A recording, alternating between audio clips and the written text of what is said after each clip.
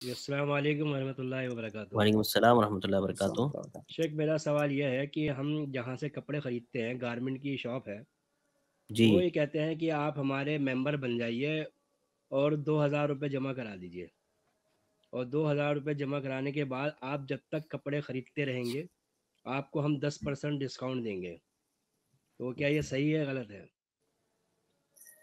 आ, भाई का सवाल ये है कि कोई कपड़े की दुकान वाला कहता है कि आप हमारे मेंबर मेंबर बन जाइए दो हज़ार रुपया जमा करके। और जब तक आप हमारे यहाँ से कपड़े खरीदते रहेंगे तब तक हम आपको डिस्काउंट देते रहेंगे दस परसेंट। ये जायज़ नहीं है ये सरासर हराम है। जी। वो जो आप दो हज़ार रुपया दे रहे हैं वो फकत इस बात का दे रहे हैं कि आगे आप कपड़ा खरीदोगे उसमें आपको डिस्काउंट मिलेगा।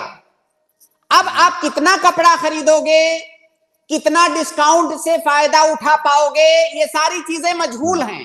गोया कि वो जो दो हज़ार आप दे रहे हो एक मजहूल चीज़ के लिए दे रहे हो। जी। आपको ज़रूरत पड़ेगी कि नहीं खरीदोगे कि नहीं कितना खरीदोगे कितना फ़ायदा होगा कुछ भी पता नहीं है। और इसी को किमार कहा जाता है। यही जुआ है। तो ये जायज़ नहीं है।